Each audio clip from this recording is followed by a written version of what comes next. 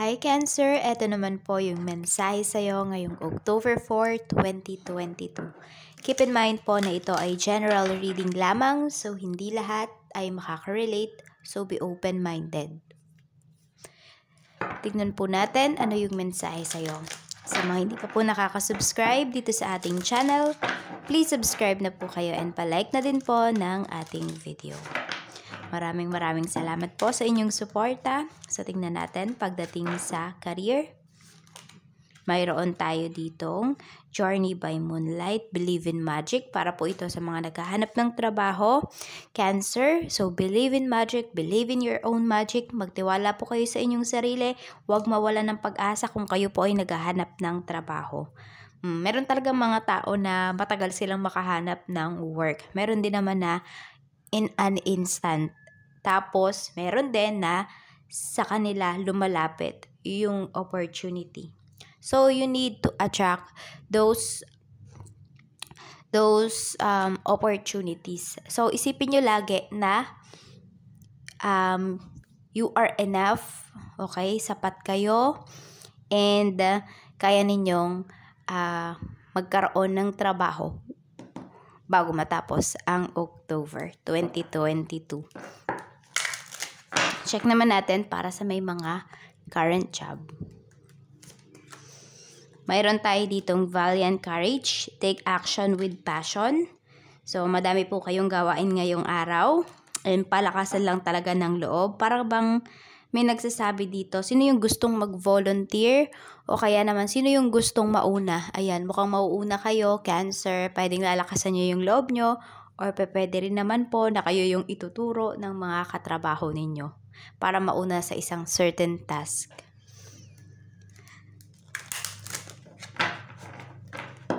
Pagdating naman po sa money, spirit guide, kamusta po si Cancer? Staying focused, hold the course. Pagdating ito sa iyong finances, sa iyong kaperahan. So, pwede po na meron kayong pinag-iipunan. Meron, ano kayo dito eh, very motivated kayo ngayon, Cancer. Pwede po kasi na ako ano man tong tinitingnan ninyo ngayon, ano man tong chine-check ninyo is talagang gustong-gusto nyo makuha. Pwede rin po na nagka-canvas kayo ngayon. So parang hindi lang kayo sa isa tumitingin, okay? Kunwari sa isang grocery store, ayan, uh, dalawa yung pinupuntahan ninyo to check the price, magkano ba yung difference. Kasi ngayon talagang mahalaga sa'yo yung pera mo. So iniingatan mo ito kaya ito yung iba sa inyo, kayo mismo yung nag-grocery na dati hindi nyo ginagawa. Basta yung mga hindi nyo ginagawa about sa pera ninyo before ay ngayon kayo na yung gumagawa. Para mas makatipid kayo and also para malaman ninyo kung um, magkano ba talaga yung gastos ninyo. Mm-mm. So ito, pinapahalagahan nyo po ngayon yung inyong kaperahan. Check naman po natin pagdating sa business. Pagdating sa business spirit guide, meron tayo ditong cleansing waters. Ah, cleansing waters, tama. Purification activates vibrant life force. Ayan, hindi ko alam kung about ba sa um, massage, spa, or mga hair treatment, yung inyong trabaho pero para yung negosyo nyo pala. Pero parang more on about pampering or more about self-love po yung inyong business. Ayan purification activates vibrant life force. So pwedeng yung kung ano man yung mga pwede ninyong palitan dito palitan mag-sanitize. Yun yung nakikita ko dito. I-sanitize sterilize yung inyong mga equipments yung mga um, tools na ginagamit po ninyo just to be safe and uh, be hygienic. Ewan ko, yan yung napipick up ko dito. so, maganda naman po ang dating, ayan o, oh, di ba smooth, okay?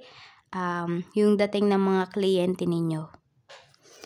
Cancer. Check natin ang iyong love life ngayong araw overcoming difficulties. Ayan, meron kayong mga kinakaharap na problema ngayon, pero sinasabi naman po ni universe dito na malalagpasan nyo yan. Okay, kaya nga, meron dito, believe in magic. Believe in your own magic na maayos nyo po itong problema ninyo kasi haharapin nyo din po ito. So, pwede po na may mga delays kayo na mararanasan uh, towards your relationship. Pwedeng delay sa pag-meet ninyo ng person mo, um, sa mga plans ninyo. So, yun lang po yung mensahe sa'yo. Maraming maraming salamat and see you again on my next video. Bye-bye and more blessings to come, Cancer. Hi Pisces! Ito naman po yung mensahe sa'yo for today, October 4, 2022. Keep in mind po na ito ay general reading lamang. So, hindi lahat ay makaka-relate, so be open-minded. Sa mga hindi pa po nakasubscribe dito sa ating channel, please subscribe na po kayo and palike na din po ng ating video. Maraming maraming salamat po sa inyong suporta. So tingnan natin para sa mga naghahanap ng trabaho. Meron tayo ditong great adventure, take risk, venture forward. Hmm, sinasabi ni universe dito. Ayan, kung naghahanap po kayo ng trabaho ngayon, wag lang isang um, Huwag lang ba isang place yung puntahan ninyo? Huwag lang isang company yung applyan ninyo. Sinasabi po sa inyo dito na mag ano pa kayo, maghanap pa kayo ng iba na pwede ninyong applyan, pwedeng personal nyong pupuntahan, personal kayong magpapasa ng resume, o kaya naman by email. So, mag-take na po kayo ng risk. Yan yung sinasabi sa inyo dito. Okay? Huwag na kayong matakot kasi normal talaga yan. Matatakot kayo, kakabahan kayo. Pero kasi maniwala kayo sa inyong sarili at ano, pagkatiwalaan ninyo yung inyong mga pangarap. Check naman natin para sa mga may current job. Narrow pathway, tread thoughtfully.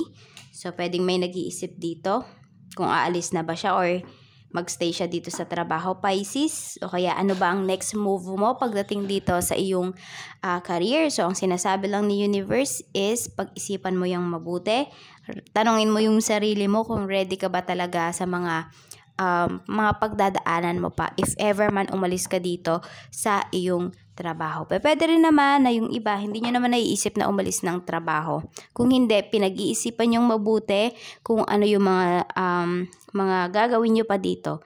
Kasi pwede po na meron kayong bagong project na ginagawa at talagang nakatuon yung isipan nyo dito sa project na ito. So parang alam mo yun, nakukonsume nito yung buong araw mo. Pwedeng iniisip mo paano ba mas mapapadali yung trabaho mo.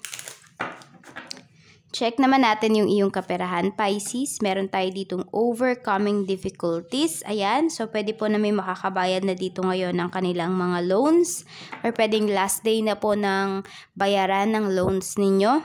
Basta meron kayong matatapos dito. Uh, meron kayong makakomplete na bayaran, uh, Pisces, pagdating po sa inyong mga bayarin, sa inyong mga utang. Ayan. So, you can overcome anything. Huwag po kayo mawala ng pag-asa. Kung ano man po itong mga pinaproblema nyo sa pera ay maaaring ma-uplift. Siyempre, tutulungan nyo po yung sarili nyo. Hindi yan basta-basta mawawala kasi pera yan eh. Check natin. Ayun, yung iba sa inyo baka nawawalan, nawawalan kayo bigla ng pera. So, track down your finances. Kasi baka may nangungupit sa'yo. Hindi mo alam. Check naman natin yung iyong business. Meron po tayo ditong discovering truth.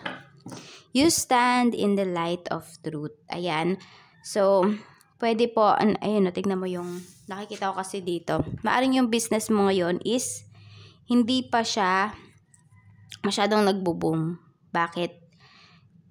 Kasi kakaiba yung business mo. Sabihin natin na hindi siya usual o kaya naman yung approach mo sa mga nakapaligid sa'yo ay hindi usual. Para bang sinasabi mo dito, Pisces, na kung sino lang yung maka-appreciate ng business ko, yun na yun. Kung sino lang yung bumili, okay na yun sa akin. So, parang, parang bang hindi mo pa siya namang market ng maayos. Yun yung nakikita ko dito sa business mo. Kaya, wag ka, man, wag ka namang mag-alala kasi may makakapansin at makakapansin dyan. Siguro, hanapin mo lang yung target market mo. Mukha kasing hindi mo pa siya nahahanap. O kung sino ba talaga yung mga dapat mong bentahan o anong status sa buhay, anong age, mga ganyan. Tignan natin pagdating naman sa iyong love life, Pisces. Kamusta naman po ang love life ni Pisces Spirit Guide? Mayroon tayo ditong Journey by Moonlight, Believe in Magic. Ayan. So, pwede po na mayroon kayo ditong nililikawan, Pisces. So, sinasabi ni Universe, maniwala kayo sa magic ninyo. Pwede rin po na um, ito, meron dito nagsusorry sa karelasyon nila, sa asawa nila, ayan. Or pwede rin po na may hihilingin kayo. Ayan, mukhang mapagbibigyan naman po kayo dito. Um, Pisces, yun yung nakikita ko dito. So, magaan naman kasi yung energy mo. Pwede po na pagbigyan ka ng person mo or ng asawa mo dito sa hihilingin mo ngayong araw. So, yan lang po yung mensahe sa'yo. Maraming maraming salamat and see you again on my next video. Bye-bye and more blessings to come, Pisces! Hi Scorpio, ito po yung mensahe sa iyo ngayong araw, October 4, 2022. Keep in mind po na ito ay general reading lamang so hindi lahat ay makaka-relate so be open-minded. Tignan po natin ano yung mensahe sa iyo ngayong araw para po ito sa mga naghahanap ng trabaho. Meron tayo ditong impasse, reflect and redirect your energy. Ayan, wag daw po kayong mawala ng pag-asa. Meron kasi dito, parang feeling ninyo, um, Scorpio is napakamalas ninyo. Pwede kasing nag-resign kayo before sa trabaho, tapos akala ninyo may mahahanap kayo na bagong work agad-agad. Pero some of you, 6 months na yung lumilipas, wala pa rin. So, parang nagsisisi kayo dito. Okay? Redirect your energy. Divert mo po yung mga iniisip mo in negative into positive. So, para yun po yung ma-attract mo dito. Tanggalin mo yung worries mo. Okay? I-let go mo yung worries na nararamdaman mo. Kasi isa yan sa nagpapa, nagpapa-block, kaya hindi ka makahanap ng work. Tsaka ito, pwede rin na yung hinahanap mong work is hindi talaga applicable for you or hindi talaga yan yung direksyon na gustong mong uh, na gustong tahakin mo ni universe. Hanap ka ng iba. Okay? Tingnan natin. O kaya sa ibang lugar. Para sa may mga trabaho, first light, beginning a new cycle. So, meron po kayo ditong um, bagong gagawin. Iba naman sa inyo, pwedeng first day nyo po sa trabaho ngayon. Um, Scorpio, ayan. So, ito, pwedeng meron ka ng gagawin na malaking project. Ia-assign to sa'yo. Check po natin. So, parang ikaw yung mangunguna dito check po natin spirit guide. Pagdating sa uh, money view from above get, get the big picture ayan. So kailangan po dito ang sinasabi tingnan mo 'di ba? Tinitingnan mo yung pera mo.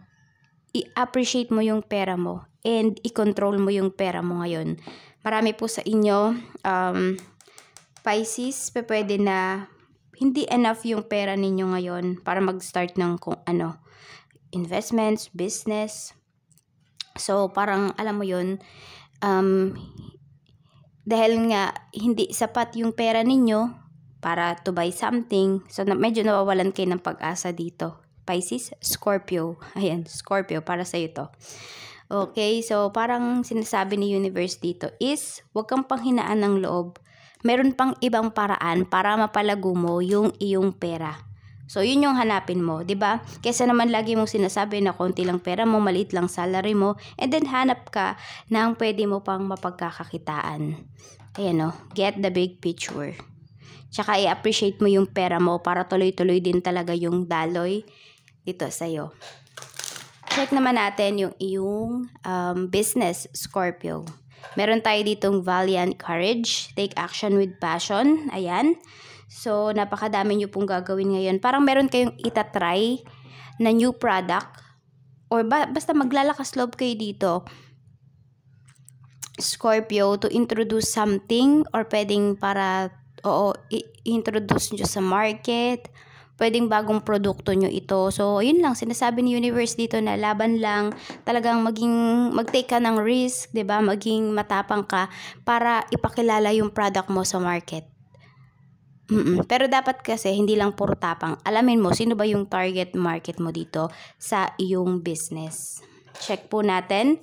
Pagdating naman sa iyong love life, Scorpio, meron tayo ditong watching clouds, lie back, rest, and relax. So, pwede po na may vacation kayo or may pag-travel kayo na inaayos ng person mo.